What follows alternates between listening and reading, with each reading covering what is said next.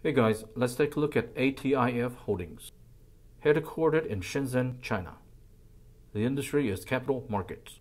Incorporated in 2015. And the CEO is Jun Liu. The ticker is letter ATIF. Current share $1.98. Market cap 18.1 million. And here's the historical stock price. Enjoy learning about stocks just like me? Hit the follow button and we can all learn together.